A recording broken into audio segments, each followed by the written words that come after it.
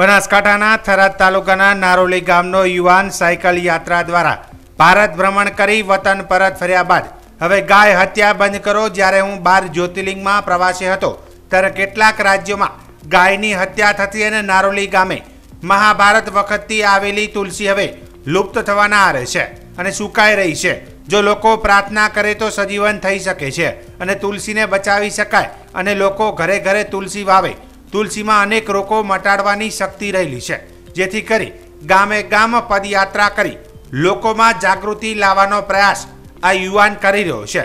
ત્યારે રાણપુર ગામે આવી પહોંચતા ગ્રામજનોએ સ્વાગત કર્યું હતું અને પ્રાથમિક શાળા ખાતે કાર્યક્રમ યોજાયો હતો.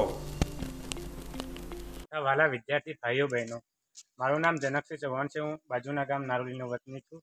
અત્યારે હું થરાદ તાલુકાના દરેક ગામની પદયાત્રા કરી રહ્યો છું. અમારી યાત્રાનો એક મેસેજ છે કે ગૌ હત્યા બંધ થાય એવો કાયદો સમગ્ર ભારતમાં લાગુ થાય.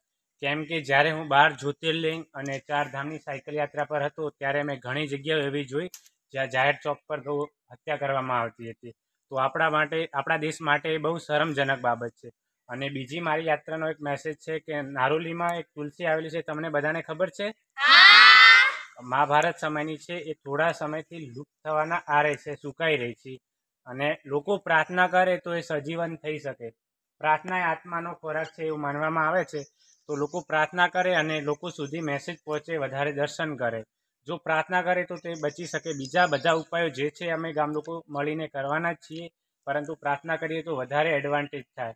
બીજો એક મેસેજ એ રહેલો છે કે તમારી શાળાના કેમ્પસમાં તુલસી છે ને? હા, છે. તો જ્યારે તમે બધા વિદ્યાર્થી લોકો પોતાના ગામ ઘરે જઈને તુલસી વાવજો. વાવશો ને?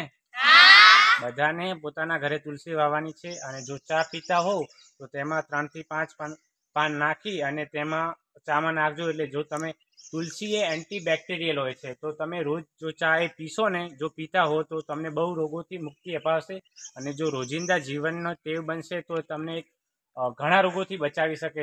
કરશો ને તમે ઘરે? પરંતુ શાળાની બધી તુલસીઓ તોડીને નાખતા ધીરેથી બીજ લેજો એમ. ને ઘરે જઈને યાત્રાનો મેસેજ પણ આપશો. આપશો ને?